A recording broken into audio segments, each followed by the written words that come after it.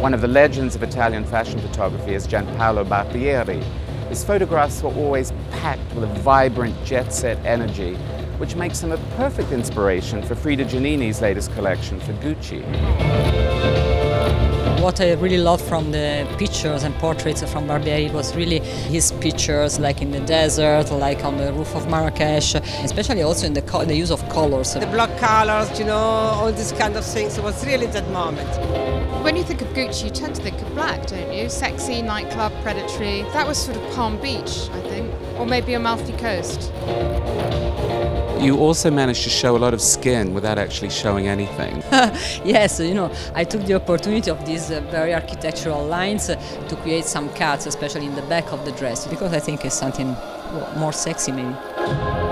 The woman who wore clothes like that for Barbieri doesn't exist anymore. So how do you shape that aesthetic for a modern woman? Well, you know, I think that you can play a lot with the fabrics, also, you know, with the different silhouette. So, for example, the, the 70s pants now is a more flare pant, or the pajama is translated in a long tunic with a pair of trousers. So it's, it's easier in a way, it's, uh, it's more contemporary, it's something that a woman of today can really wear in an easy way. I thought, aren't those colours absolutely gorgeous? Aren't the prints great?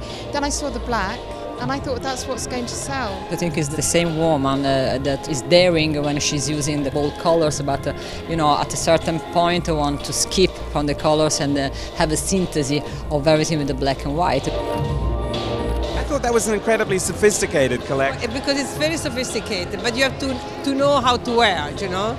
If you know how to wear it, it could be fantastic.